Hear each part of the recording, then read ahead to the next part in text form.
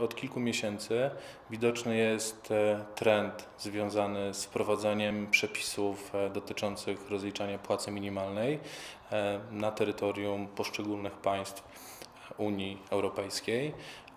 W związku z wprowadzaniem tych przepisów nakładane są określone obowiązki zarówno na firmy transportowe, jak i na kierowców, którzy wykonują swoją pracę na terytorium tych państw.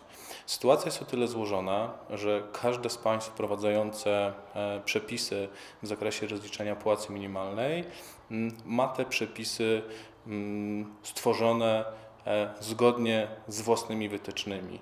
E, stąd też kierowca wyjeżdżający w trasę dwu-trzy tygodniową, która obejmuje na przykład Niemcy, Francję, E, jadąc do Hiszpanii i potem na powrocie przejeżdżając przez Włochy i Austrię, jest zobowiązany do posiadania kompletu dokumentów, e, który mm, jest wymagany na terenie każdego z tych państw, które wprowadziły płacę minimalną.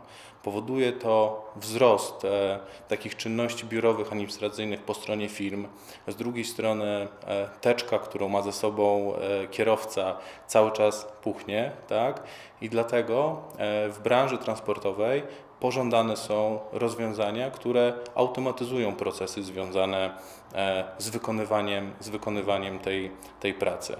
E, w tej sytuacji można wspierać się systemami telematycznymi, które dzięki swoim funkcjonalnościom zbierają informacje o tym, jak i gdzie kierowca e, pracuje, w którym miejscu przekracza granice, ile czasu spędza na terenie poszczególnych krajów i Taki komplet informacji jest przekazywany bezpośrednio do firmy, która to firma może samodzielnie e, je rozliczyć bądź zlecić to firmie zewnętrznej. Mm, atutem takiego rozwiązania jest korzystanie z danych rzeczywistych, tak? Nie polegamy na tym, co kierowca notuje, tylko pozyskujemy dane z systemu e, GPS, tak?